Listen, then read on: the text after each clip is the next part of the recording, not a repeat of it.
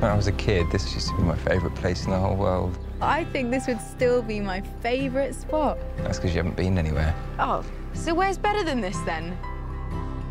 Paris. Place Dauphine, right by the Pont Neuf. If I shut my eyes now, I know exactly how it feels to be in that little square.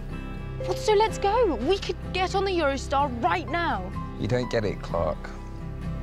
I want to be in Paris as me. The old me.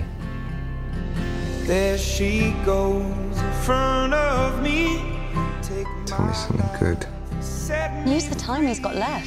Show him how good his life can be. We've barely left the house in two years. We have tried. Yes, but we haven't succeeded. Will needs to be allowed to feel like a man. Can I take you somewhere?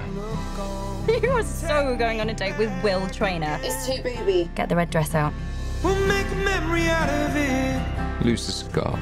If you're going to wear a dress like that, Clark, you have to wear it with confidence. Only you, Will Traynor, would tell a woman how to wear a bloody dress.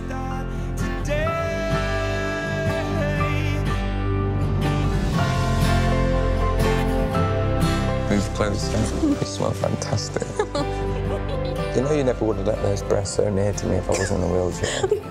yeah, well, you never would have been looking at these breasts if you hadn't been in a wheelchair. what? Of course I would. No, you wouldn't. You wouldn't. You would have been too busy looking at the leggy blondes, the ones you can smell an expense account at 40 paces. And anyway, I would have been over there serving the drinks. One of the invisibles. Am I right?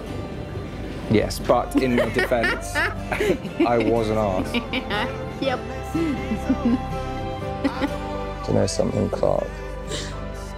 You are pretty much the only thing that makes me want to get up in the morning. Then let's go somewhere.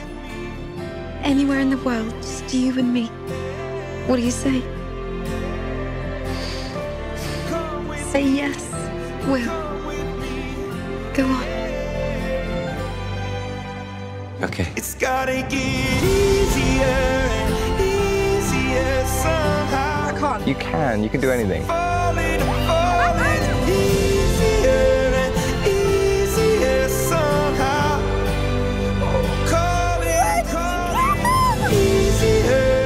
Want you to miss all the things that someone else could give you.